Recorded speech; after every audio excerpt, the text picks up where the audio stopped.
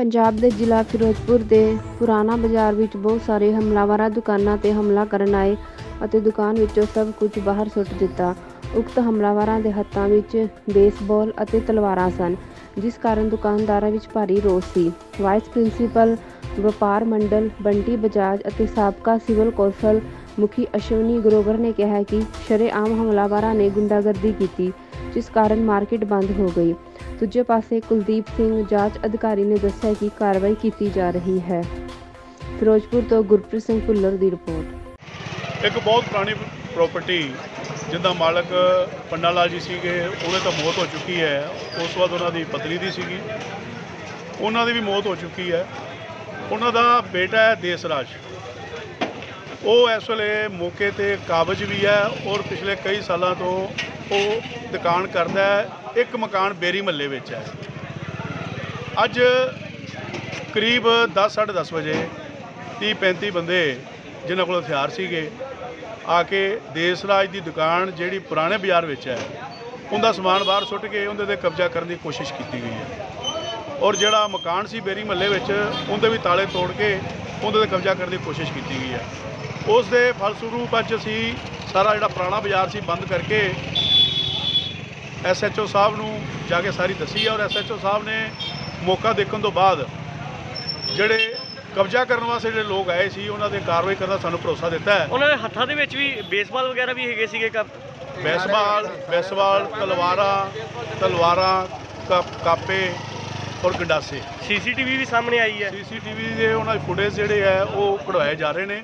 ਉਹਨਾਂ ਦੀ ਜਿਹੜੀ ਵੀਡੀਓ ਸੀ ਉਹ ਫੁਟੇਜ ਵਿੱਚ ਆ ਚੁੱਕੀ ਹੈ। ਕੀ ਮੰਗ ਕਰਦੇ ਹੋ ਤੁਸੀਂ? ਮੰਗ ਅਸੀਂ ਇਹ ਕਰਦੇ ਹਾਂ ਵੀ ਜਿਹੜੀ ਇਹ ਹਨੇਰਗਰਦੀ ਜਾਂ ਜਿਹੜੀ ਗੁੰਡਾਗਰਦੀ ਹੈ ਸ਼ਰੇਆਮ ਲੋਕਾਂ ਦੀਆਂ ਦੁਕਾਨਾਂ ਤੇ ਲੋਕਾਂ ਦੇ ਮਕਾਨਾਂ ਤੇ ਕਬਜ਼ਾ ਕਰ ਰਹੇ ਨੇ ਅਸੀਂ ਉਹਨਾਂ ਦੇ ਖਿਲਾਫ ਕਾਰਵਾਈ ਦੀ ਮੰਗ ਕਰਦੇ ਹਾਂ। ਅਗਰ ਜੇ ਸਾਨੂੰ ਇਸ ਤੇ ਕਾਰ ਜੇ ਪੁਲਿਸ ਇਹਦੇ ਤੇ ਕਾਰਵਾਈ ਨਹੀਂ ਕਰਦੀ ਤੇ ਮੈਂ ਤੁਹਾਡੇ ਰਾਹੀਂ ਇਹ ਬੇਨਤੀ ਕਰਦਾ ਵਾਂ ਕਿ ਮੈਂ ਬਾਜ਼ਾਰ ਵੀ ਬੰਦ ਕਰਾਵਾਂਗਾ ਔਰ ਅਸੀਂ ਧਰਨੇ ਤੇ ਵੀ ਬੈਠਾਂਗੇ। ਕਿਹੜੇ ਬਾਜ਼ਾਰ 'ਚ ਹੋਈ ਕਰਦਾ ਅੱਜ ਪੁਰਾਣੇ ਬਾਜ਼ਾਰ ਵਿੱਚ ਇਹ ਘਟਨਾ ਹੋਈ ਜੀ ਜਿਹੜੇ ਕਬਜ਼ਾ ਕਰਨ ਦੀ ਨੀਤ ਨਾਲ ਆਏ ਸੀ ਮੁੰਡੇ ਹੈਗੇ ਸੀ 8-10 ਜੀ ਨੇ ਜਿਨ੍ਹਾਂ ਨੇ ਆ ਕੇ ਤੋੜ ਭੰਨ ਕੀਤੀ ਤੇ ਕਬਜ਼ਾ ਕਰਨ ਦੀ ਕੋਸ਼ਿਸ਼ ਕੀਤੀ। ਦੁਕਾਨ ਤੇ ਵੀ ਤੇ ਘਰ ਤੇ ਵੀ। ਤੇ ਕੀ ਹੋਇਆ ਜੀ ਫਿਰ ਉੱਥੇ? ਉਸ ਤੋਂ ਬਾਅਦ ਬਾਜ਼ਾਰ ਬੰਦ ਕਰਤਾ ਜੀ ਤੇ ਐਸਐਚਓ ਸਾਹਿਬ ਨੂੰ ਆ ਕੇ ਮਿਲੇ ਜੀ। ਐਸਐਚਓ ਸਾਹਿਬ ਆ ਮੌਕੇ ਤੇ ਆਏ। ਉਹਨਾਂ ਨੇ ਸੀਸੀਟੀਵੀ ਕੈਮਰੇ ਚੈੱਕ ਕੀਤੇ ਜੀ। ਜੋ ਬੰਦੀ ਕਾਰਵਾਈ ਉਹ ਕਹਿੰਦੇ ਉਹਨਾਂ ਨੇ ਕੀਤੀ ਜਾਏਗੀ ਪਰਚਾ ਹੋਏਗਾ। ਉਹਨਾਂ ਦੇ ਹੱਥਾਂ ਦੇ ਵਿੱਚ ਬੇਸਬਾਲ ਵੀ ਹੈਗੇ ਸੀ? ਬੇਸਵਾਰ ਸੀ ਕੁਰਬਾਨਾ ਸੀ ਕਾਪੇ ਸੀ ਜੀ। ਇੱਥੇ। ਇਹ ਸਾਡੇ ਜੰਦੇ ਨੇ ਤੋੜੇ ਤਾਂ ਚਾਰ ਸਾਰਾ ਸਮਾਨ ਚੱਕ ਕੇ ਅਣਪਛਾਤੇ ਲੋਕੇ ਲੋਕ ਆਏ ਤਾਂ ਚੱਕ ਕੇ ਬਾਹਰ ਛੱਡ ਦਿੱਤਾ। ਔਰ ਇਹਨਾਂ ਨੇ ਪਹਿਲਾਂ ਵੀ ਮੈਨੂੰ ਕਿਹਾ ਅ, ਤੂੰ ਇੱਥੋਂ ਚਲਾ ਜਾ ਨਹੀਂ ਤੈਨੂੰ ਜਾਨੋਂ ਮਾਰ ਦੇਣਗੇ ਕਿੰਨੇ ਬੰਦੇ ਆਏ ਸੀ ਉਹਨਾਂ ਦੇ ਹੱਥਾਂ ਦੇ ਵਿੱਚ? ਕੀ ਹੈਗਾ ਸੀਗਾ? 10 12 ਸੀ ਹਥਿਆਰ ਸੀਗੇ ਡੰਡੇ ਡੁੰਡੇ ਸੀਗੇ। ਮੈਂ ਤੇ- ਮੈਂ ਪਿਸ਼ਾਬ ਕਰਨ ਗਿਆ ਸੀ ਉਧਰਲੇ ਪਾਸੇ। ਤੇ ਜਦੋਂ ਤੁ- ਮੈਂ ਆਇਆ ਤਾਂ ਸਾਰਾ ਖਿਲਰਿਆ ਪਿਆ ਸੀ ਸਾਰਾ। ਤੁਹਾਨੂੰ ਭਜਾਇਆ ਉਹਨਾਂ ਨੇ ਇੱਥੋਂ? ਹਾਂ ਭਜਾਇਆ। ਕੀ ਨਾਮ ਕੀ ਹੈ ਤੁਹਾਡਾ? ਕਾਦੀ ਦੁਕਾਨ ਹੈ ਤੁਹਾਡੀ? ਹਾਂਜੀ ਸਾਰੀ ਦੁਕਾਨ ਹੈ। ਦੁਕਾਨ ਕਾਦੀ ਰੈਡੀਮੇਡ ਛੋਟੇ ਮੋਟੇ ਕੀ ਮੰਗ ਕਰਦੇ ਹੋ ਤੁਸੀਂ? ਅਸੀਂ ਮੰਗ ਕਰਦੇ ਇਹਨਾਂ ਨੂੰ ਅੰਦਰ ਕਰੋ।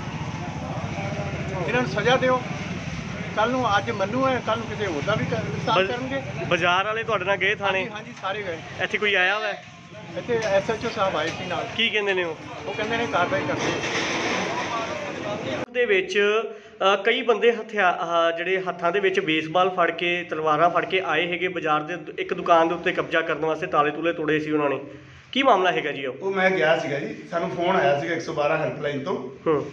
ਕਿ ਦੇਸਰਾਜ ਦੀ ਦੁਕਾਨ ਹੈ ਟੇਲਰ ਵਾਈਟਰ ਦੀ। ਹੂੰ। ਇਹਦਾ ਕੋਈ ਉੱਥੇ ਜੂਨੀਅਰ ਦਾ ਸਹਾਇਕ ਟੇਲਰ ਸੀਗਾ ਇਹਦਾ ਕੰਮ ਨੂੰ ਕਰਦਾ ਸੀਗਾ। ਹੂੰ। ਉਹਨਾਂ ਨੇ ਅੱਜ 10 12 ਬੰਦੇ ਲੈ ਕੇ ਤੇ ਡਾਂਗਾ ਛੋਟੇ ਇਹਦੀ ਜਿਹੜੀ ਦੁਕਾਨ ਹੈ ਉਹਦੇ ਤਾਲੇ ਤੋੜ ਕੇ ਤੇ ਆਪਦੇ ਤਾਲੇ ਲਾਉਣ ਦੀ ਕੋਸ਼ਿਸ਼ ਕੀਤੀ। ਹੂੰ। ਬਾਕੀ ਅਸੀਂ ਜਾਏ ਮੌਕੇ ਤੇ ਐਚਓ ਸਾਹਿਬ ਵੀ ਗਏ ਆ ਤੇ ਪੜਤਾਲ ਕਰ ਹਾਂ। ਬਾਜ਼ਾਰ ਬਾਜ਼ਾਰ ਵਾਲਿਆਂ ਦੇ ਵਿੱਚ ਸਹਿਮ ਦਾ ਮਾਹੌਲ ਸੀਗਾ ਦੁਕਾਨਾਂ ਬੰਦ ਕੋਈ ਸੀ। ਗੱਲ ਨਹੀਂ ਜੀ ਉਹਨਾਂ ਨੂੰ ਅਸੀਂ ਅਹ, ਕਹੇ ਆ ਵੀ ਦੁਕਾਨਾਂ ਖੋਲੋ ਕੋਈ ਇਦਾਂ ਦੀ ਗੱਲ ਨਹੀਂ। ਜੇ ਫਿਰ ਵੀ ਕੋਈ ਦਿੱਕਤ ਆਉਂਦੀ ਸਾਨੂੰ ਦੱਸਣ। ਕਾਰਵਾਈ ਕੀਤੀ ਅਸੀਂ ਕਾਰਵਾਈ ਕਰ ਰਹੇ ਹਾਂ। ਜੀ।